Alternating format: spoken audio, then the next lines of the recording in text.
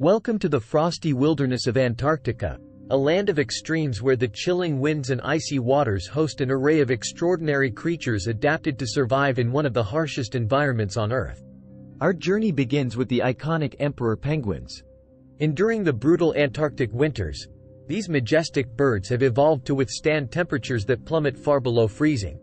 Witness their incredible communal behaviors, as they huddle together for warmth and take turns braving the frigid waters to find food for their chicks.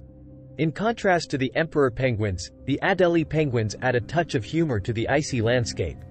Known for their playful antics and distinctive tuxedo-like markings, Adelies navigate the icy waters with agility, showcasing the diversity of life in Antarctica.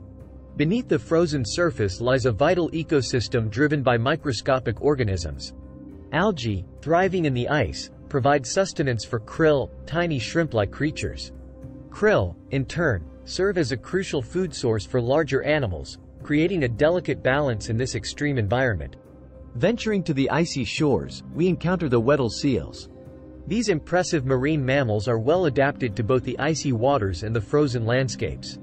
With their large, expressive eyes and distinctive markings, Weddell seals exemplify the resilience of life in Antarctica. Diving into the frigid depths of the Southern Ocean, we discover the enigmatic Antarctic toothfish.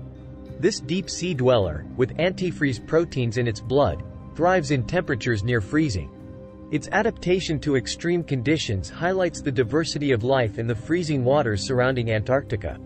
As we conclude our journey through the icy realms of Antarctica, we're left in awe of the remarkable creatures that call this frozen wilderness home.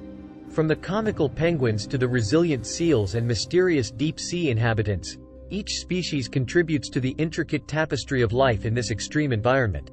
Thank you for joining us on this exploration of the Antarctic creatures. May we continue to appreciate and protect these unique and fragile ecosystems, ensuring the survival of these extraordinary inhabitants in the face of ongoing environmental challenges.